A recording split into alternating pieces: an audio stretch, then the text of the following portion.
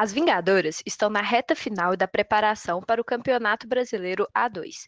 O Galo Futebol Feminino estreia nesse sábado, dia 15, contra o Aliança de Goiás. O jogo vai ser no Sesc Venda Nova, às 2 horas da tarde. Sim, uma preparação muito boa, a gente confiante aí para esse jogo, né?